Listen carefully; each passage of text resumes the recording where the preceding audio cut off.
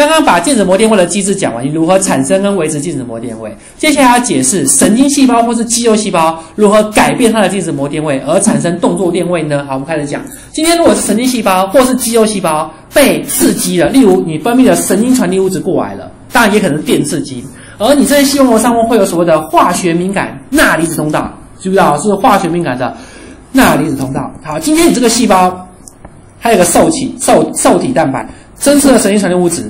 而让钠离子可以进来，这时候我是不是说钠离子通过性增加啦？钠离子通过性增加啦，而钠通性增加了，钠是进还是出呢？会是进，因为两个力量，外钠内钾嘛，外正内负，不论是电荷压力或是浓度梯度的压力，都会让钠离子冲进来。换句话说，我们细胞通过钠钾帮浦跟通过性的不同，我们搞成钠很想冲进细胞，有没有发现？不论是浓度梯度或是电荷梯度，你只要让它一打开孔道打开，钠会冲进来的。好，那我现在就让这个化学敏感钠离子通道打开。此时钠离子会因为两个压力，浓度梯度和电荷梯度，使得钠被推到细胞里面。好，当钠进入细胞里面，是不是本来外正内负，而带正电的钠进来了，是不是里面就变得没那么负了，外面就没那么正了？你的膜定位就会从负六十五开始增加，就负六十五。负六十、负十五就开始增加了。这个时候呢，我们是不是说你的极化状态被去掉了？就是外侧内负负六十五这样子的方向性慢慢被破坏。此时称这个状态叫去极化，极化被去掉了。也就是说，你可能从呃外正内负变成外没那么正，内没那么负，甚至变成外面微微负，里面微微正，甚至变成外面好负，里面很正。那以电荷来讲，它从负六十五毫伏变成负四十，假设，然后变成呃这边正成的正二十，然后变正四十，哦，你是不是原来的方向性被破坏啦？这时候叫做去极化，去极化，去极化。好，那我先把这擦掉。当你的膜电位上升，这时候叫去极化，而你的去极化是不是膜电位在改变？从负六十五到负五六十到负五十五。当你的去极化的膜电位程度上升到某个程度，这个程度叫做阈值。这个阈值其实就是一个所谓的门槛，是不是膜电位变化了，就引发了对电位很敏感的钠离子通道打开？大家这就是关键。当你的膜电位上升到某个程度，你会引发电位敏感钠离子通道打开，而它一打开，是不是让更多的钠进来，更多的钠进来，in，更多钠进来，不是膜电位上升更多吗？就会让膜电位又变化更大，又引发更多的电位敏感钠离子通道打开。这是一个连锁效应，也是一种正回馈。一旦电位敏感钠离子通道打开，它就全开，不会一直开一两个。因为当你一开一两个，进来更多钠，膜电位又上升一点，又开更多，再进来更多，又开更多，做全开。此时会引发大量的钠离子冲进细胞里面。此时你的膜电位会上升，是剧极呃剧烈的上升。这时候的去极化是非常剧烈的去极化，冲上去。这时候我们就会说：“哎呦，你产生很剧烈的去极化，你产生了动作电位或活动电位了。而动作电位跟活动电位，英文叫 action potential，所以我们翻译成动作电位或活动电位，两种翻译都有了，看你喜欢哪一个。动作电位、活动电位。所以动作电位、活动电位的前提是你的膜膜电位必须要先到达阈值，引发电位敏感钠离子通道一打开，一旦它一打开了，就会大量打开，引发剧烈的去极化。”所以为什么阈值这么重要？阈值那个膜电位那个值，就是引发电位敏感钠离子通道打开的那个值。也就是说，电位敏感钠离子通道打的开启，它叫电位敏感嘛？是对哪一个电位敏感？那个电位的高低就是阈值，就是阈值。一旦膜电位一到阈值，就会引发大量的电位敏感钠离子通道打开。此时的去极化可是剧烈的，就叫引发动作电位。如果今天你的膜电位改变，没有到阈值。没有引发大量的钠离子电位敏感孔要打开，你就没有产生动作电位。好，这我们这会解释，这个电位就消失掉，它不会产生动作电位。好，以上就是去极化。去极化其实分两阶段，一开始是化学敏感钠离子通道打开，此时膜电位会逐渐上升，一旦到达了那个关键的阈值，就冲冲上去，剧烈往上冲。所以其实去极化在动作电位里面分为两阶段，第一阶段斜率比较低，第二阶段斜率比较高。第二阶段学率比较高，因为第一阶段只有化学敏感钠打开，它是微微上升。一旦到达阈值，引发大量的电位敏感钠离子通道打开，它的上升是剧烈的。那一定要剧烈上升才叫动作电位 （action potential）。好，那当你电位上升之后，这个电位敏感的钠离子通道一打开之后，很快就关闭了。随即，另外一个通道打开，它叫电位敏感钾离子通道。它叫电位敏感钾离子通道。好，此时你是不是细胞已经是外负内正了？各位请注意，我已经去极化举激很激激烈了，我的膜电位现在是正值了，比如说正四十毫伏。此时的膜电位是外负内正哦，大概正四十。此时你打开电位敏感钾离子通道，钾是向外冲，因为你看浓度梯度，细胞内钾多嘛，浓度梯度把它往外推，电荷梯度也让它往外推。所以此时打开电位敏感的钾离子通道，钾是向外跑，好，正电向外跑，你的膜电位是不是就会从正正四十开始下降，说变零，然后变负四十，然后变负六十五，是不是膜电位又逐渐回来原来的值了？因为正电又跑出去了，那钾离子跑出去了，对不对？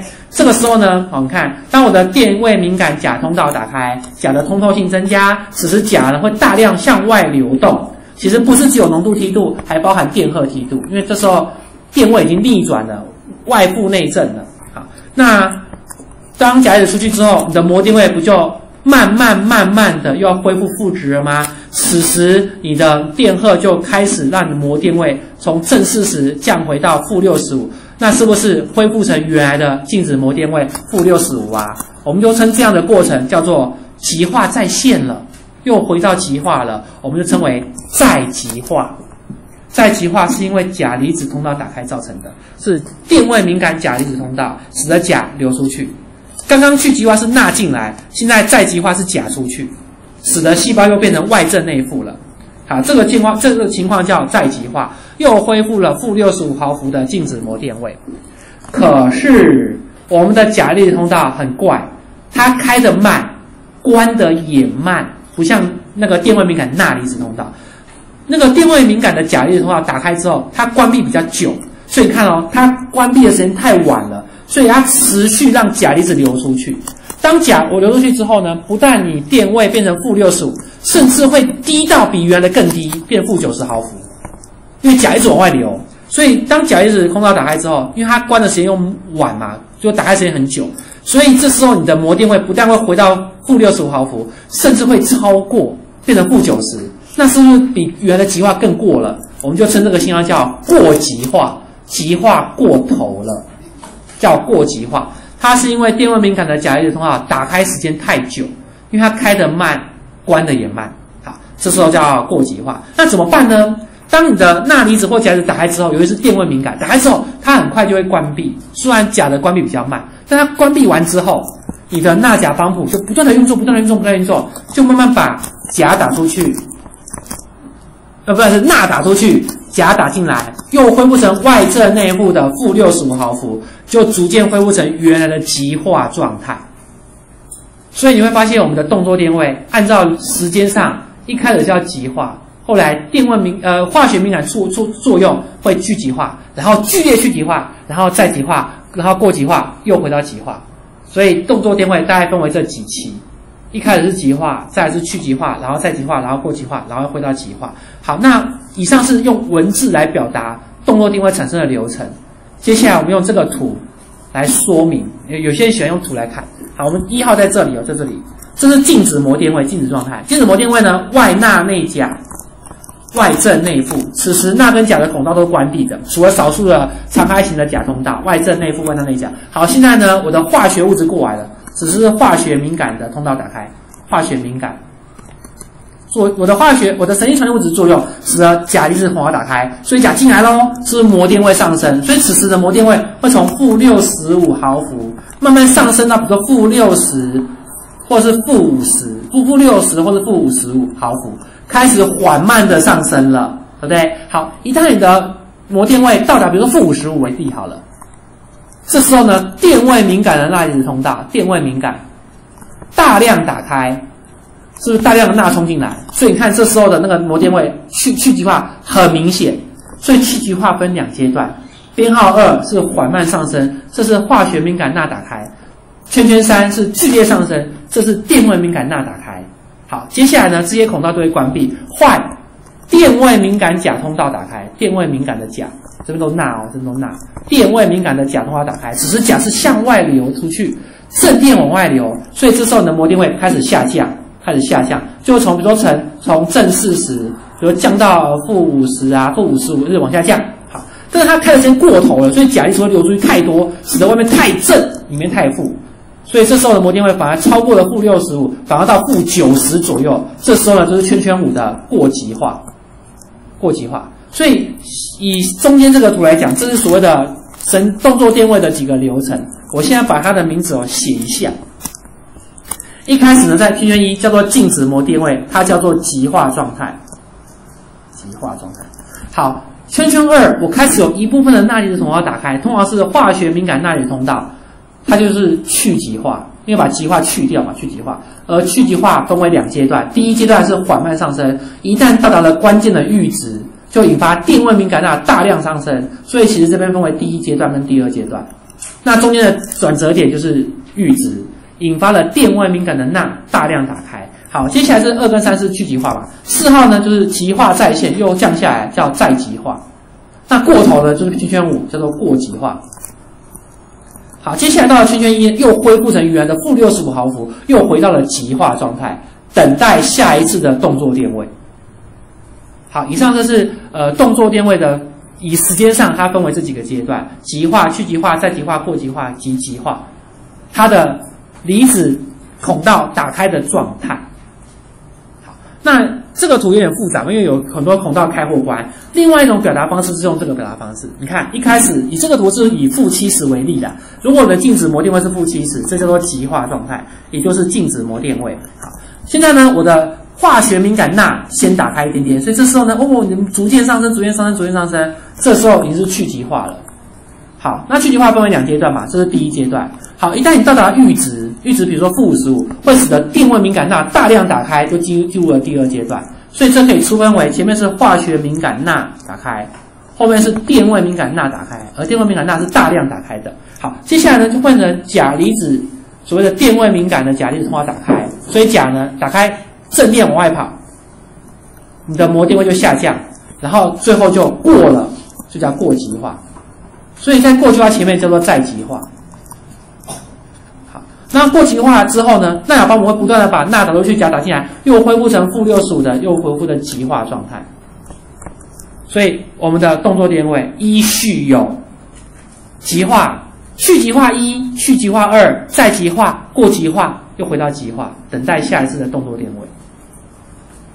好，其中我说恢复到极化不是钠钾帮补运作吗？希望各位不要误会，钠钾帮补不是在这个时候才作用的，钠钾帮补永远都在运作。就算你今天去极化了，你今天再极化了，你今天过极化了，钠钾帮浦一直在打，一直在打，一直在打，只是因为前面的去极化跟过极化，去极化再极化太大变化了，你的钠钾帮浦来不及改变它的膜电位，所以你发现膜电位狂升狂降。但是啊，钠钾帮浦一直在作用，钠钾帮浦不会停的。好，只是因为钠离子大量打开，或者钠钾离子大量打开，它的电位变化太剧烈，会压过钠钾帮浦的运作。那必须等到过极化以后，钠钾帮浦的效应慢慢出现，你就恢复成极化状态。以上是动作电位的一时间发生变化的那个流程。好，刚刚有个同学问说，我们的所有的动作电位都会发生过极化的状态吗？其实其实不一定要有，可是为什么在演化上，我们的动作电位，包含你的神经，包含你的肌肉，在放电的时候，都会有一段所谓的过极化的时段呢？过极化是你的膜电位偏低，偏低的时候，是不是离阈值更远了？所以当你在过极化的时候，你是不是更难到达阈值？也就是说，你更难产生下一个动作电位。所以其实过极化是让神经或肌肉休息用的。这段时间你不能再反应了，不能再反应了。而这在演化上有帮助。第一个让神经休息，第二，如果今天这是心脏的肌肉心肌，你让它一直收缩，一直收缩，一直收缩，你的心脏会一直收缩，不能放松。不行，你会死掉。所以心脏一定要有一段时间叫过极化，让心肌舒张，不然你心脏一直收缩，你就不能打出血液了，你的回音血会变少。所以演化上，不论是肌肉还是神经，它有一段过极化是要让神经或肌肉休息的，强制你休息，不然有些生理作用会有阻碍，比如说心脏一直在收缩，你就不能打血。哦，所以它有它的生理意义。你说。你说心脏跳快一点的时候吗？哼，很棒的问题。对，如果你心脏要跳快一点，你的过激化的时间就会缩短，缩短，就让你心脏休息时间变短，不然你心脏没办法增加心跳率。没错，没错，没错。好，请问还有其他其他问题吗？这是好问题哟。